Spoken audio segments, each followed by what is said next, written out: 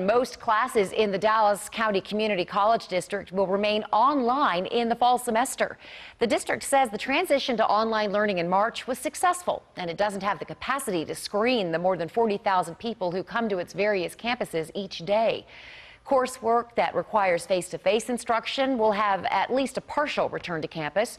Libraries and computer labs will also reopen with limited capacity.